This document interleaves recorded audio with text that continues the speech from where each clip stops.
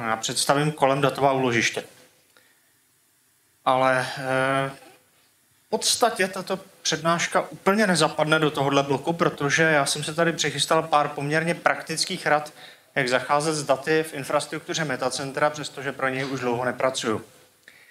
E, budu tady mluvit o takových věcech, jako e, proč většinou nemáme počítat daty, nad daty ze storage a kam si máme přesunout větší data a kam si dávat archivní data a jak si můžete případně zapojit vlastní úložiště. A to celé se bude pohybovat v rámci několika novinek v datových úložištích. Jaká máme úložiště v infrastruktuře? Já tady nebudu číst ten dlouhý seznam, já se tady zmíním jenom o dvou, na která potom můžeme velmi rychle zapomenout. To je Sync and Share řešení OnCloud. Pokud jste tady nebyli včera, tak jenom řeknu velmi stručně. Je to systém, který je velmi podobný Dropboxu, ale neříkejte to na mě, je to do streamu zatraceně. No, eh, prostě vypadá takhle, dostanete tam 100 giga eh, kvotu jenom tak, když tam přijdete federací a najdete to na oncloud.cz a datově to není integrováno s tím zbytkem té infrastruktury, je to samostatný datový prostor. Pak máme předávárnu souboru FileSender, která slouží v podstatě jako úschovna, když někomu chcete něco poslat mailem, podrobněji jsem o tom mluvil včera, zase FileSender.cz, mrkněte na to. No a to, eh, to poselství tady tohohle slajdu je těch, ale je zatraceně mnoho. Eh, ty, eh, ta úložiště mají různé vlastnosti, o kterých potřebujeme vědět, abychom je dokázali efektivně používat. Na výpočetní infrastruktuře máte skreče. To jsou lokální úložiště dat, která slouží pro běhy úlohy na výpočetním uzlu a používají se tak, že na ně data nahrnete a pak je uklidíte zpátky a mezi tím nad nimi počítáte.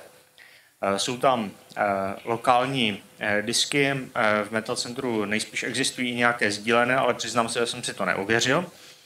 Při zadání úlohy můžete vyžádat kapacitu a případně typ toho, eh, toho skreče, který potřebujete a v plánovači máte nachystané skripty pro přesuny dat do skreče a potom na původní úložiště. Patří eh, k dobrému tónu používání takovéhle infrastruktury, abyste na konci úlohy ten scratch po sobě zase uklidili, protože když to neuděláte vy, tak to po vás někdo musí udělat a většinou to působí trochu provozních problémů. A na detaily odkážu na dokumentaci na Wiki Metacentra, eh, protože to je bez pochyby nad rámec téhle přednášky. Pak máme v Metacentru svazky, které jsou dostupné jako storage.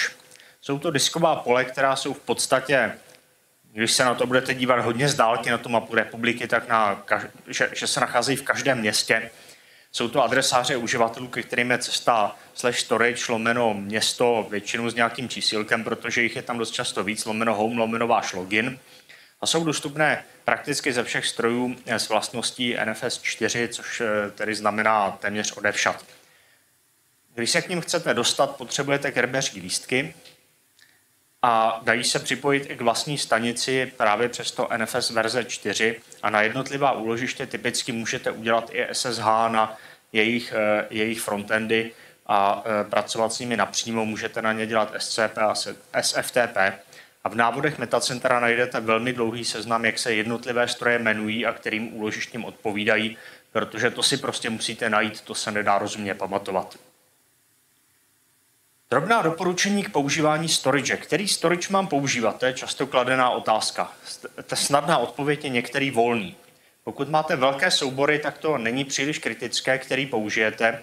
Pokud máte spoustu malých souborů, tak je vhodné volit storage, který je fyzicky blízko klastru, který používáte, protože tam potom vstupuje do hry latence k přístupu jednotlivým souborům, protože se bavíme zase o vzdáleném přístupu na POSIXový file system.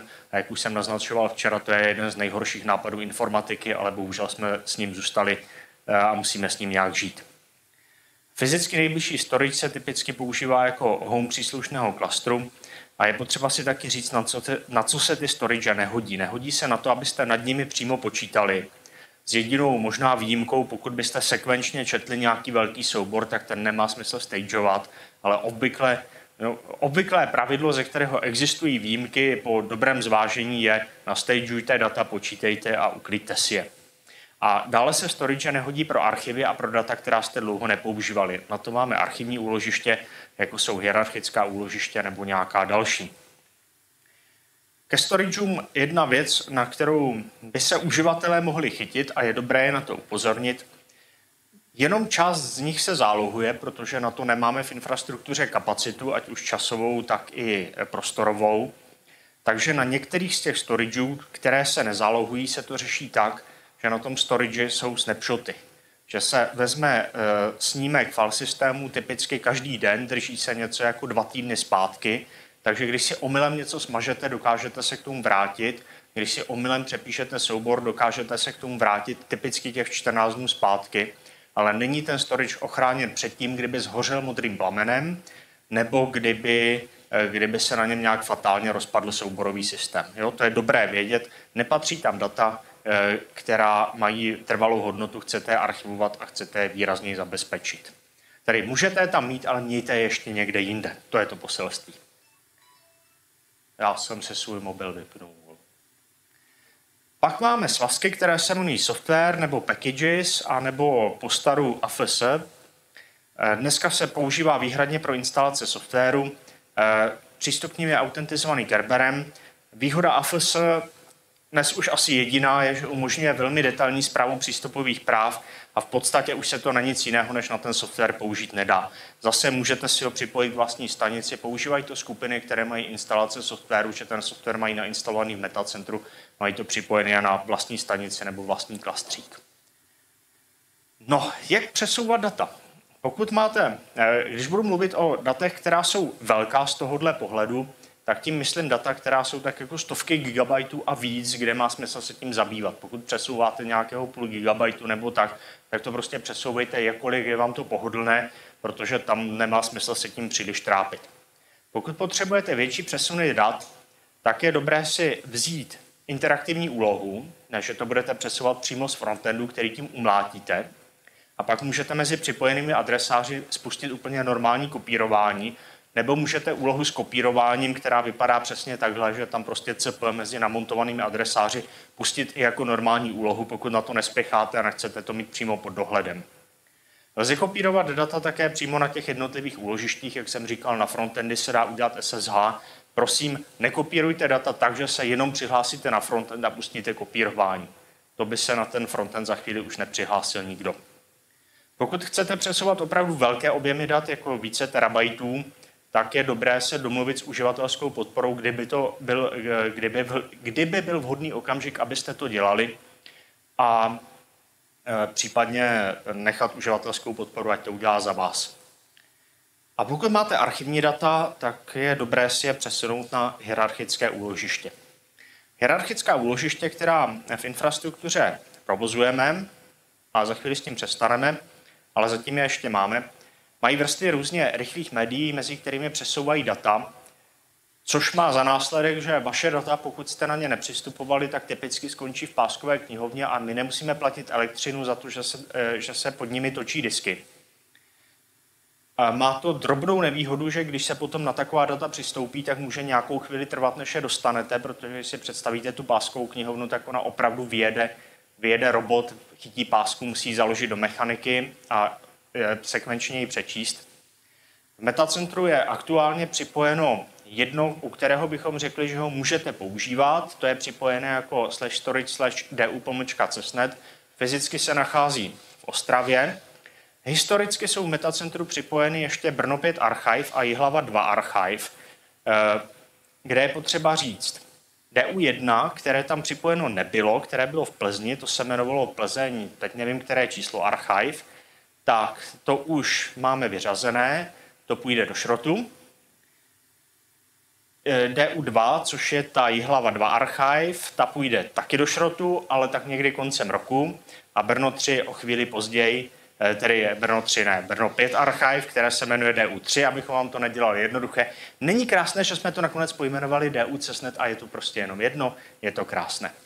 Místo toho pořizujeme diskové pole do hlavy, což eh, jsme koupili teď vlastně minulý měsíc, se nainstalovalo a dáváme ho do provozu. Klaster pro objektové úložiště, které taky bude v hlavě, ale to spořídíme ještě jeden bratru za 31 eh, milionů korun. Takže to budou náhrady tady těchto hierarchických úložišť, která se nám provozně přestávají vyplácet. Snažíme se přejít na objektová úložiště, konkrétně na CEF, a e, Včera jsem ukazoval tady ty služby pro uživatele, tak pro ty, co nebyli včera, to nechám jenom chvilinku svítit na slajdu a nebudu to podrobněji komentovat. A dostanu se k tématu, které je tady trošinku žhavější. A co byste měli vědět o datových úložištích, těch archivních? To úložiště není nekonečné, proto jsme na nich rozdělili typy použití, protože se nám zaplnila, museli jsme to nějak řešit, na dva hlavní typy. Jeden je archiv, kde se s námi domluvíte, jakou tam potřebujete kvotu, respektive když to bude v prostoru metacentra, tak se můžete domluvit s eh, uživatelskou podporou metacentra napřímo. Tam se domluvíte, jakou máte kvotu. A v metacentru máte připojeny také, také svazky eh, toho ostravského hierarchického úložiště, které nemají v sobě to pomlčka archiv, a to znamená, že jsou určeny pro zálohy. Když se potom podíváte na ten simlink z vašeho homeu, tak je v něm backup a prakticky to e, obnáší to, že pokud tam dáte nějaká data, tak tam neomezujeme objemy dat, které tam můžete dát, to omezuje to zařízení tím, že je konečně velké, ale omezujeme vám čas, jak dlouho to tam smíte mít. Jo, metacentroví uživatelé nejsou typická skupina, která by tady tohle ocenila.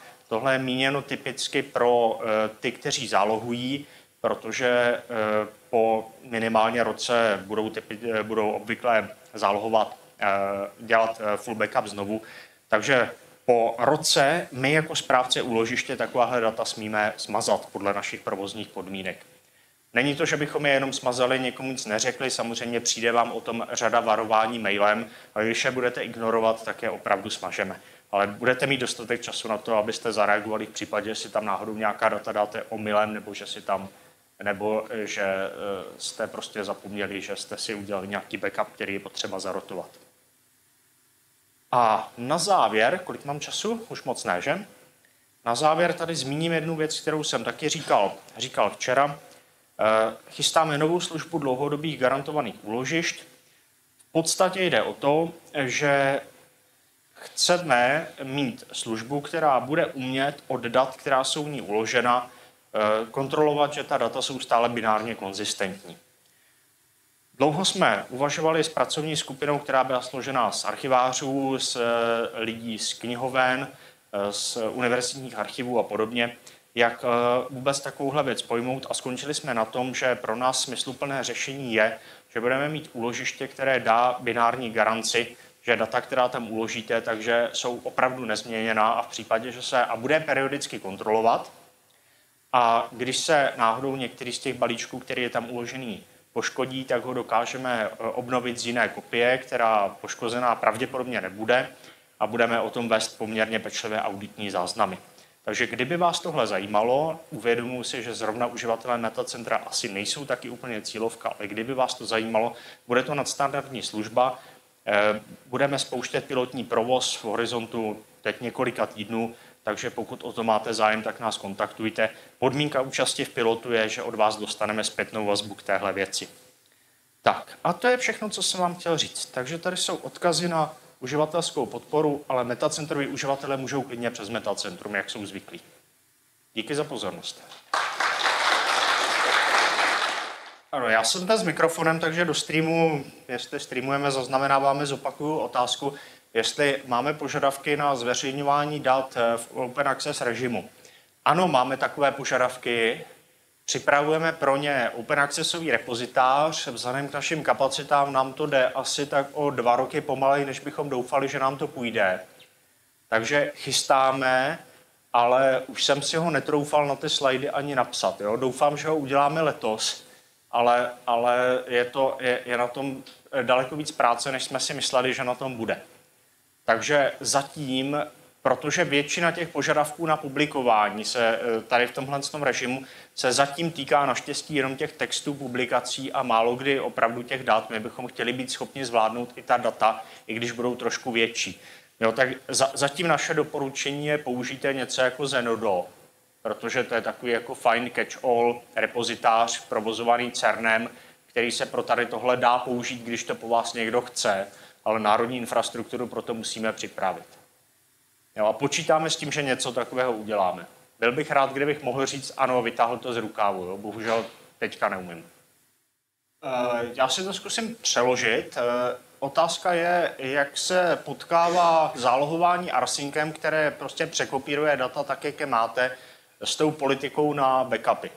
Ta politika pro backup je typicky určena pro uh, uživatele nějakých zálohovacích systémů, kterých máme uh, poměrně hodně, ať už jsou to všechny ty networkery, výmy a uh, tady tyhle nástroje pro které to dává smysl pro uživatele, kteří zálohují arsinkem, tak jednak tím nedělají tak velké objemy, že by nám zabíjeli úložiště, takže tam se spíše domluvíme na tom, že se to udělá do archivu a my o tom budeme vědět, že to ve skutečnosti je další kopie, ale že má ten archivní eh, charakter, protože tuhle dělat do téhle politiky nedává úplně, úplně smysl. Jo. Nefunguje to univerzálně, ale jinak ta ten čas, eh, od kdy je tam ten soubor uložen, ten se nepočítá podle toho, jak jste nám přepsali timestampy arsynkem, ten se počítá od toho, kdy my jsme si napočítali vlastní kontrolní haše.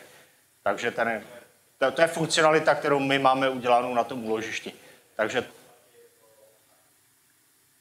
podstatě se, no eh, takhle, pokud je to metacentru, tak typicky metacentroví uživatelé mají archivy, odpovím ještě jednou větou, pokud, je to, eh, pokud chcete opravdu seriózně zálohovat, tak bych doporučoval domluvit se s námi, že si na to založíme extra organizační jednotku, nikoli, že to budete dávat do prostoru metacentra. Jo, to je, to je vhodnější, výrazně vhodnější postup organizačně pro to, aby se to podchytilo. Tak a já dám Tomášovi mikrofon, protože už mi další otázku nedovolí.